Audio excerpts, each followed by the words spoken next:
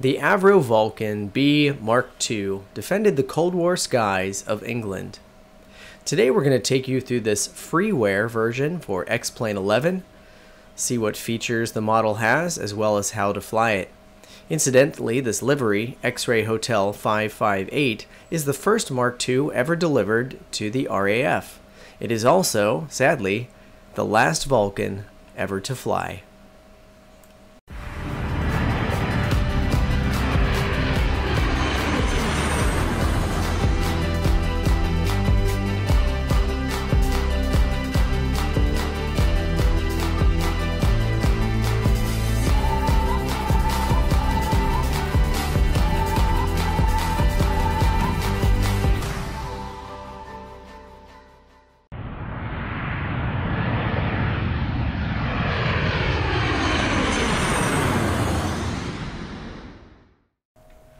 Special thanks goes out to Daniel G., the original creator of this as a payware aircraft. It was released to the xplane.org, who has allowed it to be freeware for all of us, as well as given permission to update it to X-Plane 11.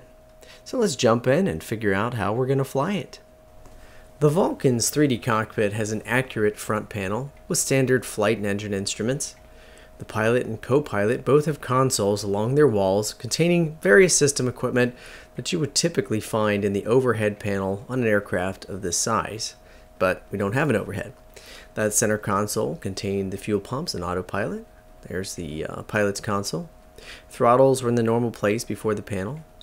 We've got this neat pop-up here. It's colored. There is the pilot's console. Just repeated. You can bring it up. That way you can look out the window and see the front panel while accessing it.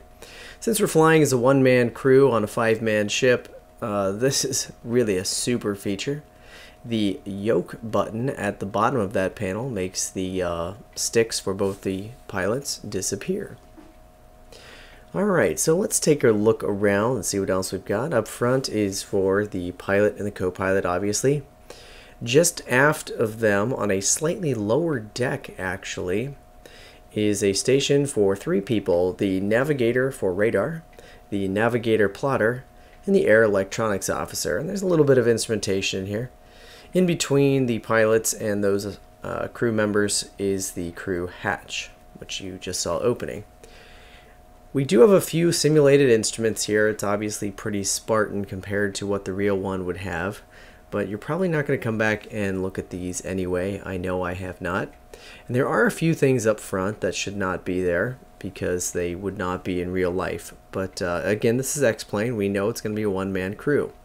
So you need some of the nav equipment up front. Going out the crew hatch, we've got a fantastic view of the uh, underside of this enormous delta wing. The gear, the uh, front gear is right there behind us.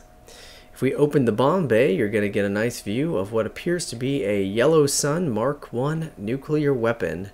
Uh, if you want to do your accurate weight loads, this thing weighs 7,250 pounds and is capable of delivering a blast of 1.1 megatons. The aircraft comes with a number of fantastic liveries. The default here is X-Ray Hotel 558, which we've already mentioned was the last airworthy Vulcan, although a few are taxiable. It's been named the Spirit of Great Britain. Here we have X-Ray Hotel 560, which is a K2 tanker. The uh, XJ783 has the anti-flash white, which is the older style for a, you know, the flash of a nuclear bomb protecting it, I guess, somewhat. And the original B1s had a straighter wing. Uh, most of the ones you'll see in white look that way. XM598 at Goose Bay, the original Black Buck aircraft, and XM607 from Operation Black Buck, which flew uh, sorties 1, 2, and 7 of that uh, very famous mission. It was an incredible range for this aircraft to fly. Actually, saved it from decommissioning for a few years. All right, the Vulcan power-up procedure. Here we go. Step 1, the battery on. At the co-pilot's console, which I've used the pop-up, you can see it's located right there. It's kind of a weird angle, so maybe we'll go look at it. You know, when you look from the uh, this angle, everything, the labels are readable. So the battery's right there. Punch that red button, and you will get power.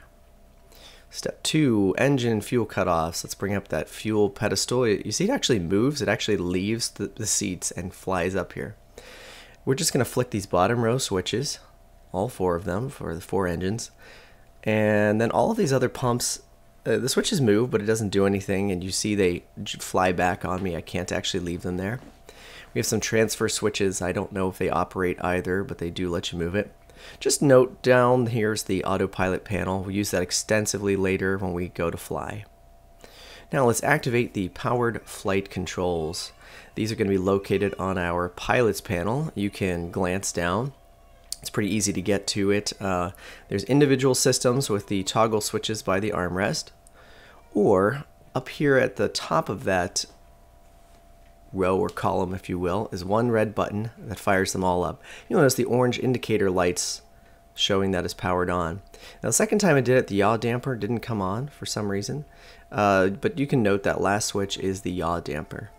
This one is actually kind of easier to do from the pop-up because you can see it well, so that's another way you could do it. So, powered flight controls. APU start. Uh, I believe I've started this aircraft without using the APU, but that doesn't make any sense. So let's start the APU. It's a two position toggle. So we're going to rotate it two clicks to the right. You'll hear it power up. And then the APU is running. Alright, next up, we've got our nav light indications right over here beside the APU. So let's turn those on. It's labeled as nav, but it's basically two red uh, rotating beacons on the underbelly and they look pretty cool so I'm gonna leave those on other switches we have here are the crew hatch right there by the battery you can actually access that by pressing uh, shift F2 and I'll toggle it open and closed the bomb bay we talked about earlier uh, shift F1 toggles the bomb bay or there's the switch on the pilot's console there's also some other bomb functions, but I'm not going to go into that. It is in the documentation. So let's start our engine start procedure. Since we have the APU running now, we would have bleed air, so that's actually possible. We're going to open the pilot's console from this little pop-up tab. And I like to move it so I can also see the engine gauges during startup. So the starters on the bottom of the console. We're going to flick on all four igniters and leave them on. Once we've done that, let's take a little peek over here. We need to turn these on. I'm not certain what they are. If you don't turn them on, the uh, N1 gauges will not operate correctly, and the engine sounds will be weird. However, uh, I have been able to power up the ship without them, so I don't really know exactly what those do. It would make sense to me if maybe they were a bleed or something. I, I don't know really what happened there. It's it's strange. Just turn them on. Alright, next. Let's take a look at these gauges, make sure we know what we're looking at. They're, in the standard columns 1, 2, 3, and 4. In the top row is your exhaust gas temperature. That'll let you know we've started. The N1s are going to be a little wonky. For some reason, they're all linked to engine number 1. So when we start up 1, you're going to see them all come on. And the oil gauges seem to work correctly. So, at the pilot's console, press and hold number one. Uh, it doesn't seem to matter how long you hold it for. You get a nice long, maybe a 20, 30 second start sound. Can see the exhaust gas temperature coming up, and absolutely nothing happening on the N1. Just kind of a weird quirk here. The N1 at idle reads zero. As soon as you give it even the slightest nudge on the throttle, that N1 is going to start bouncing around. And the starter has a really nice cutout sound there. Alright, so that N1 is reading 0, as I mentioned. So let's crack the throttle. See it jumps up and the uh, fine indicator really spins quite wildly. And you notice 2, 3, and 4 are also moving. Guess we've kind of covered up 4. Here, let's go out. So engine 1 is the only started engine. All the others are off. 2, 3, and 4 are moving exactly parallel to one. So again, just some little bug. It's not really that important. I don't think it's going to give you any issues. Just don't want you to be confused when you find it. So go outside. You can see one is running. Not too much in the way of graphics looking down the uh, exhaust nozzles. Alright, starting two, same deal. hold down the starter as long as you care to. Watch for your engine gauges. Exhaust gas temperature should rise. If it won't start, make sure you uh, check that those fuel pumps are on the fuel panel. We did that earlier. And uh, of course, make sure there's fuel in the aircraft. When I started filming this, I had uh, been flying around with it a whole bunch, and then for whatever reason, I started it up one day and it was empty, and I sat here wondering what on earth I was forgetting trying to start engines with no fuel. So don't do that. So three and four, get those going. It's a pretty satisfying startup procedure. It's not very complicated, but the you know the sounds really add to it.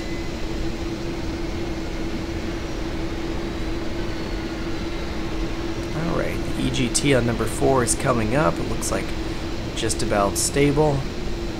So we can get ready to go here and maybe look at our flight plan in a moment. A few other little features we'll take a peek at here.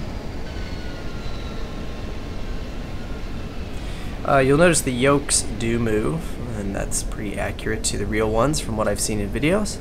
You can hide them if they're in your way. There are some other features in the co-pilots. Uh, I'm not going to list them all. You can look at the documentation. There's a pressure setting there. We're not going that high today. We do have landing lights, so go ahead and flick those on. They're ganged, so you press one, you get them both. These only come on if the gear is down, so you can actually leave them in the on position and you won't see them until the gear is down. Kind of interesting. We do have working wipers. Uh, you know, this cockpit leaves a lot to be desired in visibility, but it is kind of neat to see three wipers up there, and they're all linked together, low and high speed, and you can look from outside. By the way, your yoke actually controls both pilots' heads. So if you want something fun to do, go out, look in the window, and shake the yoke, and they uh, they look all over wherever you turn the yoke to. Alright, so back in our main panel, I'm going to hide the yoke so you can check out this HSI. Your heading select knob moves that red needle, and that's, you know, just ignore the background cards. Uh, see, spinning the OBS here, I can change the number, so this might make you a little bit insane. If you've turned that OBS and you want to find a specific heading, you don't have really numbers to reference off of unless you turn the OBS back to uh, north. So just remember that the red arrow for heading has nothing to do with your um, radio nav card that I'm spinning there. And the localizer and glide slope stuff does show up on your uh, artificial horizon. So here in the center panel, we've got another nav display. It's, a, it's supposed to be a TACAN. It just points to the VOR. And you've got a scrolling DME. It's kind of neat. Uh, this here's your drag chute. Don't pull it until you're on the ground. I was uh, floating the one day, came in a little hot, pulled it just a few feet off the ground, but it really plunked us down and the aircraft caught on fire. So don't do that. Under your fuel panel, we've got the autopilot and you are going to want to use this. I have not found a trim on this aircraft. I think it's just a quirk of this uh, the sim. I'm sure the real one had to have trim. Can't imagine it didn't. So if you don't use autopilot, you're going to go crazy holding it. The auto throttle's over here on the pilot's panel, so set the number and turn it on from there. Your uh, nav radios, you get them from the pop-up. All your radios are on this one thing, so change the mode, ADF, nav, and COM. Uh, up there by the digit display are your adjustment knobs for it. If you're using ADF, the indicator is going to be over on the co-pilot side see way, way over there.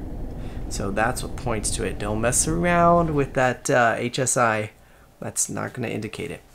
So I've grabbed a few select stops from the Vulcan's final tour. This is the southern route. It went a lot more places, and it did not land where we are landing. So, departing Doncaster, we're going to fly to CWZ, which is, uh, what is that? Cranwell. From Cranwell to Wittering, then down to Barkway. Next will be to Lambourn. Then we're going to tune up and fly towards Rochester. But we are not actually going to make it. So that very acute angle down there, it's not going to happen. So we'll zoom in here in a minute because uh, we'll, we're going to want to turn over there to London City. I just picked this for fun because it's great to take the Vulcan into London. Uh, The London City Airport is really not appropriate for this aircraft, but I made it work. So here we go. After we hit um, Lamb up there, we're going to dial up Rochester 369, and then you're going to fly down to the Thames River. When you get to the river, turn. You can dial up London City at uh, 322 on the ADF. That'll help guide you in. But it's pretty much going to be a low and slow visual. You definitely want to slow this thing down way in advance. Alright, uh, I'm using the pop-out Garmin 430. I have an external that has a pop-out button. You might be able to set a hotkey. I didn't see it in the ship or in the documentation, but it's going to be a great resource. Put in the flight plan, and then you've got a nice backup reference. I'm sure uh, X-Ray Hotel 558 during its tour days was using a GPS, so I don't feel like this is cheating at all. However, I don't think you can actually make the aircraft navigate um, via autopilot with the GPS. I uh, wasn't able to make that work. I might have just missed something. So we're going to start taxiing, and in, in a moment, I'm going to cut out a part of the turn because it was painfully long and awful. It doesn't have the best turn performance. You can see there we just jumped. Now we're 180 around. And you see the speed we're going now, that's about the minimum speed that it actually kind of sort of turns okay. At a very low speed, it's not going to want to turn at all. So uh, get it rolling. Start planning ahead for your turns. Don't slow down too much. Uh, other things that might be helpful, I use toe brakes. I found that very helpful to help navigate the turns. You might be able to get away with uh, variable thrust if you have throttles that differentiate the engines. I've only got one throttle on my uh, Thrustmaster here, so I'm stuck with all four, and I'm not going to look down and try and move those with the mouse. So at a couple of these angles, if you watch the nose gear, you might notice that uh, the trajectory on the ground doesn't match that of the wheels. It's kind of sliding a bit. I think you'll see it in the next shot. So uh, that might annoy you a little bit. It is manageable. It's doing it right now, actually. See the way the wheels turn? It's not quite tracking where it should. I don't know if that's just a, a setup thing where it's not thinking there's enough pressure on that front wheel to steer correctly. So let's line up here. Beautiful reflection on that skin. Great texture. Uh, live traffic is going to annoy us. They're coming in. So let's wait a minute for that winds were, uh, you know, calm when I filmed this, so it wasn't really an issue there. Alright, this night takeoff is from a different flight because I'm a goofball and didn't actually get the takeoff for today's recorded for some reason. But it looks great at night, so let's check it out. We're going to rotate anywhere between 135 knots and 165. Just depends on the weight pretty much floats off the runway. So when you start to rotate, you're just gonna feel like it just woof, became airborne. I think that's mostly the, that nice big wing. So I brought out the uh, airspeed indicator. Sorry, I lost the bottom of it. Um, that's because in the, the, recording it was actually clipped. So we're passing 130, 140, 50, probably about 155, and we are up. You notice I didn't really have to roll the nose back too much there. These are Rolls-Royce Olympus uh, engines, which is uh, an older variant of that found in Concorde. Absolutely beautiful aircraft. The documentation says that our climb speed should be about 250 knots. For today's little tour, here we are, back to our tour, uh, set up the autopilot, we're doing sightseeing, so I'm flying us all low level because uh, that's really what they would be doing to show off the Vulcan. So here comes our second waypoint, Wittering, at uh, 117.6. It's quite a sight. I mean, the aircraft is such a huge wing.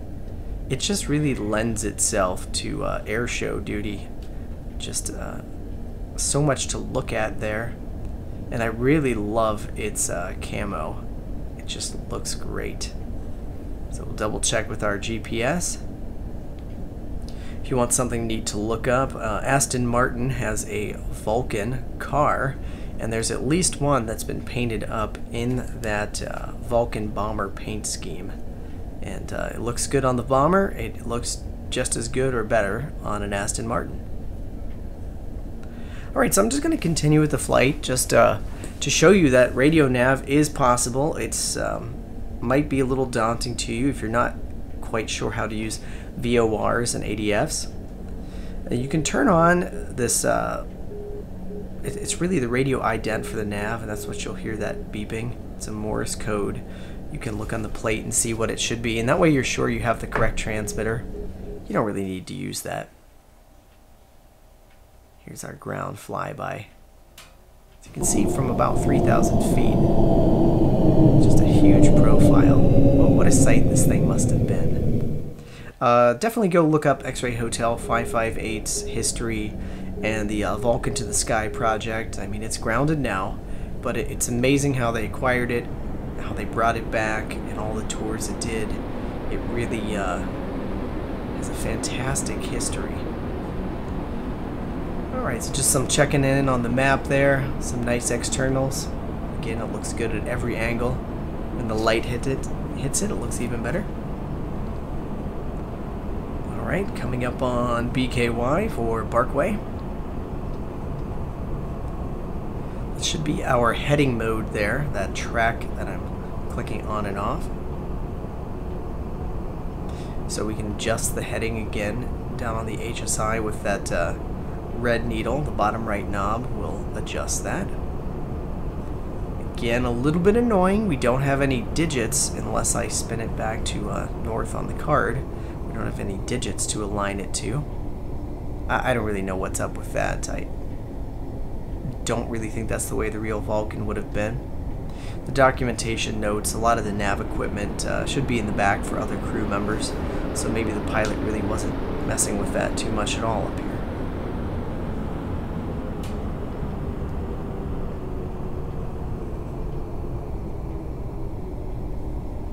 So I do believe uh, this was flown in an altitude hold. I'm recording our voiceover after the fact here. Uh, just something to note with this, this big of a wing, it's easy to over control it. And it's uh, interesting to see how well the autopilot can actually maintain level. You notice we had a bit of a dive in the turn, and now it's climbing.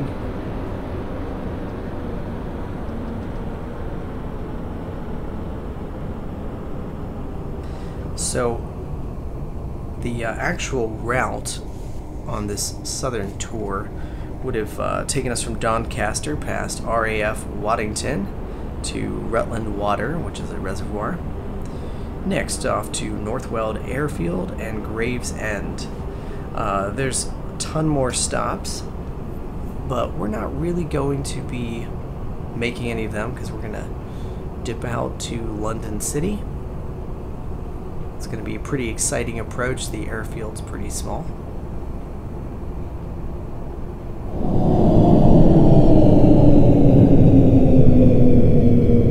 Fantastic for flybys. I'll be honest, this is one of very few aircraft I almost spend as much time outside as inside because it just looks so good. Uh, you might have noticed earlier we had the pressurization panel. I do believe in one of my test flights I took this up to an altitude where you would be pressurized and uh, I don't think I had set that and I don't think we had any issues. So just something to be aware of that you might need to set it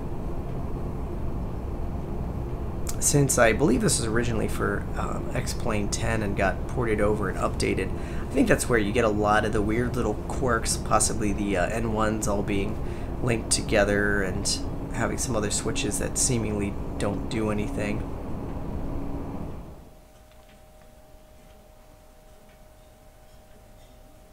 Now, as much as these simulated flybys look great, I'm sure we're nowhere near close to how impressive the actual sound of a Vulcan flyover would have been. It just had to be an incredible noise.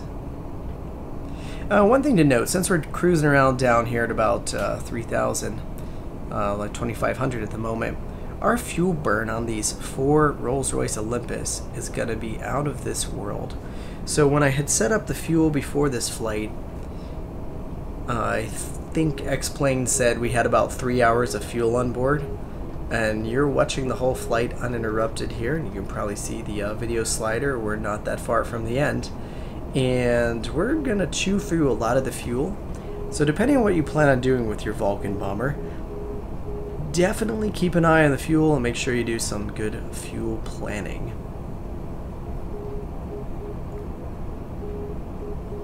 So if you're not too familiar with how the uh, VORs work, basically you're going to tune up one of those ground-based stations. You'll turn the OBS until the needle lines up with that center line. And then as you're flying, the needle will deflect to the left or right if you get off course from the radial. The radial would have been the specific direction you were coming in and that actually allows you to come in at a, at a precise heading. So for example, if we're headed to an airport and there's a VOR, we could know we were on the correct heading relative to that ground station. It's really not so different from the GPS. Oh, here's our fuel check. Again, I think I started with uh, three hours of fuel. Now we're down to 110 by its estimate. We've got the GPS map. But you see, we've got the magenta line on the GPS. So if you're doing the VORs, it's more in your head. The flight planning is more important. You have to look at all these radio stations. Uh, I suggest you put it in SkyVector. Okay, it looks like we're approaching our Thames turn, so it'll just be all visual. So we're flying towards uh, Rochester, but we will be turning. Alright, I'm going to go direct to on London City here just to clear Rochester out since we will not actually uh, pass by it. Ahead of us, out the, uh, the windscreen, the limited view we have, you can probably see the Thames already. Let's zoom in there. Now it's a little easier to see it.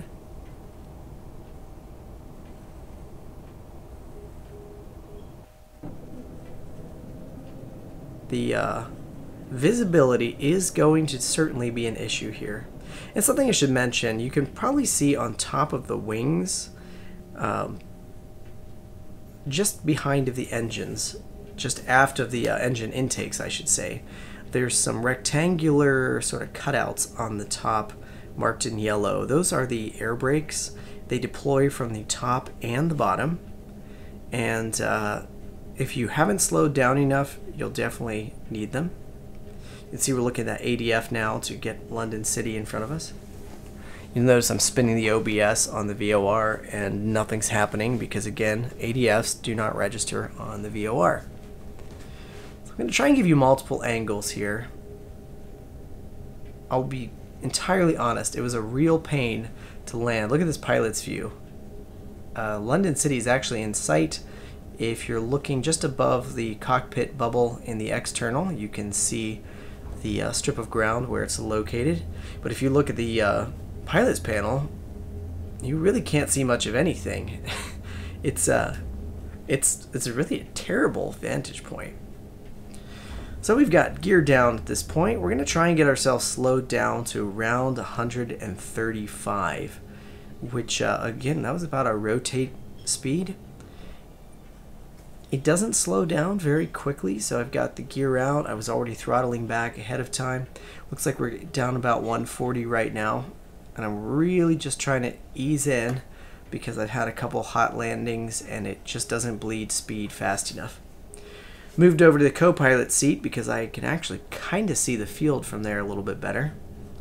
But again, generally speaking, the visibility is kind of awful. Uh, I do believe that is very accurate to the real Vulcan. I had read in one source that they had a some sort of periscope for ground handling and taxiing, but uh, I've never seen that in any of the videos or anything. Now, one issue I'm having here, I'm I'm coming in. I'm going to try and clean up the spine a bit and turn, but I drift a little bit past the runway heading and at this low speed it's just a little bit sloppy you see I can't quite get it to hold there so I'm gonna have to compensate a little bit more I will tell you this landing uh, should definitely be a go round so brace yourself. You've probably seen a couple uh, garbage landings from me in the past. And uh, again, I just wanted to show you how to operate this Vulcan. I'm not going to claim that this is how you should land it. I will certainly say this is not how you should land it. And this is actually not where you should land it. But it is going to be fun. Alright, so I'm still trying to correct my course. You'll notice I can almost see it out the pilot's window now. One big benefit we have, we do have that drag chute, so once we touch down, we will be able to deploy that to dump the remaining speed. Uh, I can't quite see my airspeed indicator as I'm recording the voiceover, but I believe we're down about the 135, 140 we want to be at.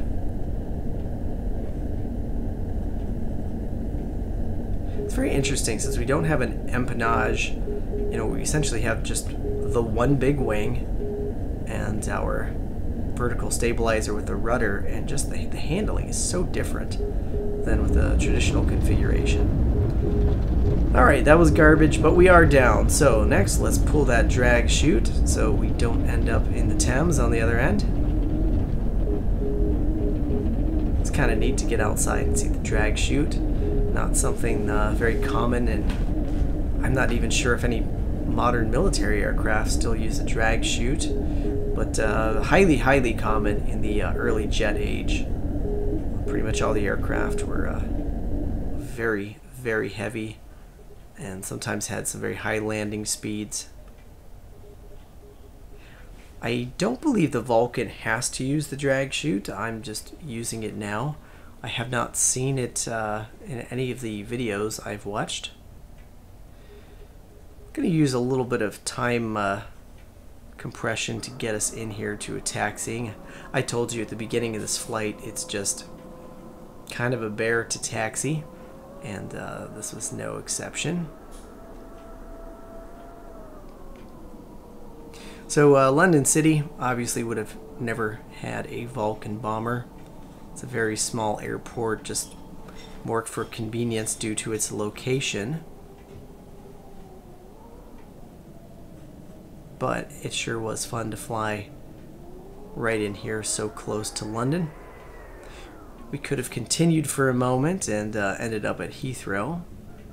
London City is basically in the uh, approach or departure for Heathrow, depending on the flow. So there we are, and you can see those uh, air brake on the top of the wing right there. Alright, let's wrap this video up. We're going to just check out a few more things inside for uh, power down. We can open that uh, crew hatch again with Shift F2. You want to see the bomb bay again, that was Shift F1. Or we showed you where the switch is here on the co-pilots. We can turn off our uh, nav light slash beacons. Quick fuel check. Notice it says 32 minutes estimated flight time. Last time we looked was 110, and we finished this flight in real time. I have not really edited out any of the uh, the flight there, so that's obviously not the amount of flight time we did. So I think it's the low altitude. I haven't tried a long one. Quick check of the nav equipment. This is your ADF. If you spin it, the card moves. The numbers go upside down. That's a little weird looking but uh, you're going to need that ADF. This is not a magenta line aircraft. The center one, that's going to point to your VOR. So at the very least, that one's actually probably the easiest to use. Just fly where that's showing and you're going to get to your next waypoint. Your heading on this OBS card, oh sorry, the HSI card, uh, spin the OBS, it turns, that needle would deflect if you're a little more familiar with how VORs work. Uh, there's your heading, the red one. So when that turns, again, we don't have numbers. That's a little bit aggravating, but you can get close and then fine tune it as you go. All right, so to power off the uh, engines, we're just going to turn off the fuel supply. So let's move over here again.